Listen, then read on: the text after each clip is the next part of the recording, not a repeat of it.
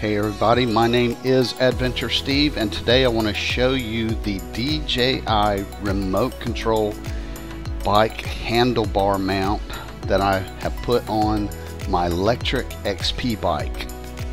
I wanted the ability to be able to ride my bike and also mount my remote controller in a hands-free type situation so I could do some follow me's and points of interest with me on the bike and not have to have one hand on the controller and one hand on the handlebar.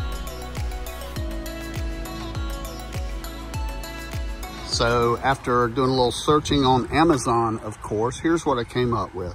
I found this bracket right here. Now, what I want you to do first is ignore all this other wizardry and sorcery, okay? So I'm gonna do a video about that also. Today we're concentrating on this remote controller bracket. This bracket is super simple and it works great. You can take your controller on and off really, really easy.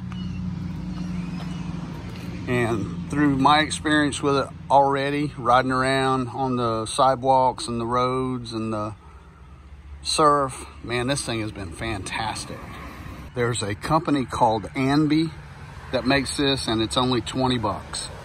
This little bar right there going across, that actually holds it against the frame of the, the remote controller. And also on this side, right there and there, that clips in and that is what holds the mount.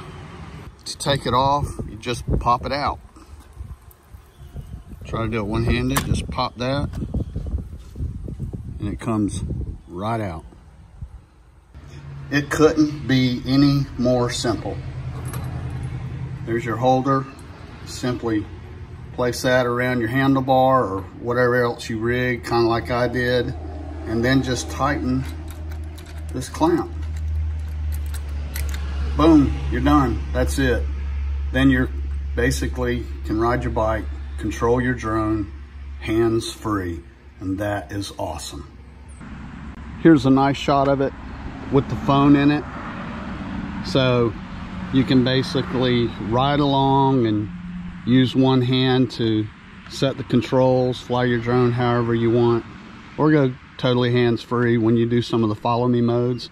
Now one thing, I haven't ridden this on like a mountain bike trail or anything like that, so what I would suggest is that if you do go with something like this, make sure that you tether this. It will be easy to do just to uh, tie a little cord around the handlebar and attach it. So in case you do hit a really, really hard bump, that everything won't end up on the ground. So, and I think that would be a definite possibility. So if you're gonna ride it in rough, rough terrain, tether it. All right, y'all, that's it. That's all I got. Not being a professional YouTuber, there's no way I can take this thing out 17 minutes like professional YouTubers because I know y'all got cat videos you'd much rather go watch. I appreciate all of you. I appreciate my hateful eight. Except for maybe Iowa Matt. I'm gonna have to start calling y'all the hateful seven. What the hell happened to Iowa Matt? He pops up like once every four or five videos. You gotta do better than that, Iowa Matt. All right, y'all. I'm gonna leave you with some footage of me doing some follow me modes on the beach and I will catch all of you in the next video.